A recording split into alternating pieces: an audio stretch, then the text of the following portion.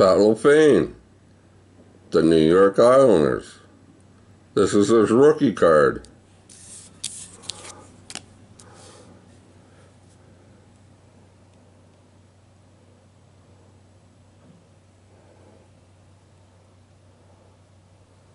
O-Pee-Chee. Canadian. This is a Canadian card. It's worth 10 times as much money than the American, the Topps. This is worth more money. Any PG card's worth more money than Topps. Yeah. Pat LaFontaine.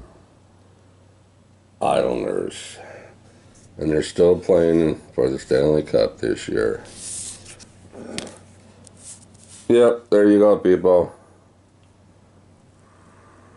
1983, 1984.